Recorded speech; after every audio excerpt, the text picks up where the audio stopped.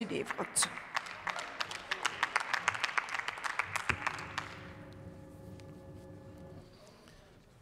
Frau Präsidentin, liebe Kolleginnen und Kollegen! Ordnungsmaßnahmen des Sitzungspräsidiums des Sitzungspräsidiums gegenüber Parlamentariern sind so alt wie der Parlamentarismus selber. Manchmal sind Ordnungsmaßnahmen so, dass sie regelrechte Staatskrisen auslösen. 1949 in einer der ersten Sitzungen des Bundestages bezeichnete Kurt Schumacher Konrad Adenauer als Kanzler der Alliierten.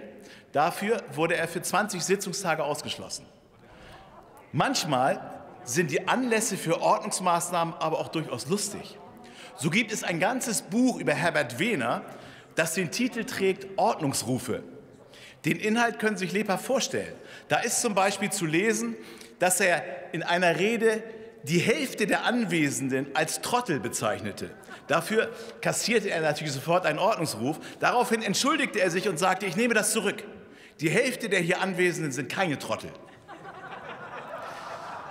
Liebe, liebe Kolleginnen und Kollegen, es gibt viele lustige Begebenheiten, die der Parlamentsbetrieb zuweilen mit sich bringt. Der Anlass für unseren heutigen Gesetzentwurf, Herr Schnieder hat es gesagt, zum Ordnungsrecht im Bundestag ist leider überhaupt nicht lustig. Wenn man sich den Katalog der Ordnungsmaßnahmen in der Geschäftsordnung und im Abgeordnetengesetz anschaut, so stellt man fest, dass sich alle auf den Plenarbetrieb beziehen. Das ist so seit Anbeginn der Republik. Niemand konnte sich in den letzten 70 Jahren vorstellen, dass es einmal notwendig werden würde, außerhalb der Plenarsitzung Ordnungsmaßnahmen gegen Abgeordnete verhängen zu müssen. Nun, niemand konnte sich früher auch vorstellen, dass eine Partei wie die AfD wieder ins Parlament einziehen würde. Hintergrund des Gesetzentwurfs sind natürlich die Ergebnisse rund um die Debatte zum dritten Bevölkerungsschutzgesetz am 18. November.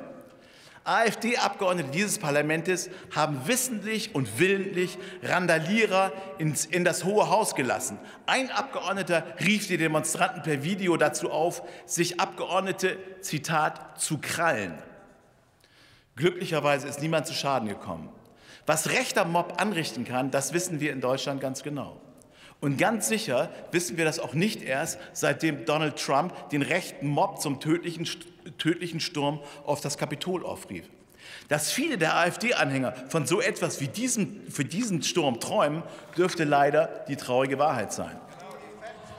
Die Gefahr, dass Abgeordnete zu einem solchen Sturm auch auf den Bundestag beitragen, ist seit dem 18. November leider ziemlich real. Und deshalb schlagen wir die vorliegende Ergänzung des Abgeordnetengesetzes vor. Künftig soll das Bundestagspräsidium Ordnungsmaßnahmen auch außerhalb von Sitzungen verhängen dürfen.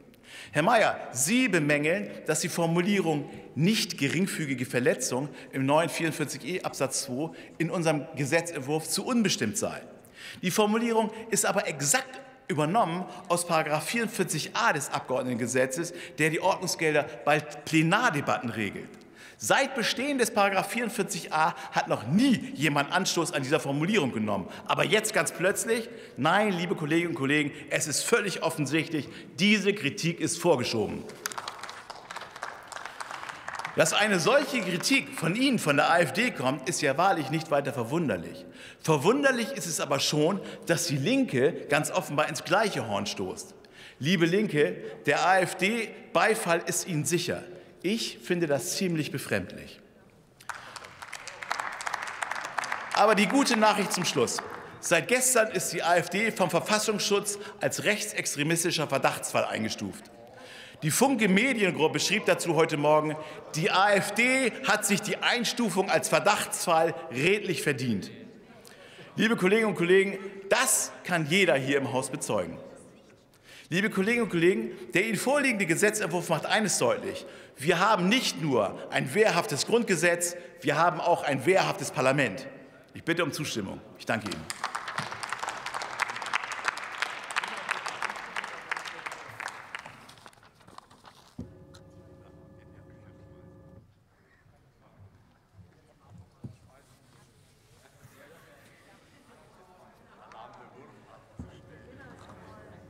Das Wort hat der Kollege Dr. Marco Buschmann für die FDP.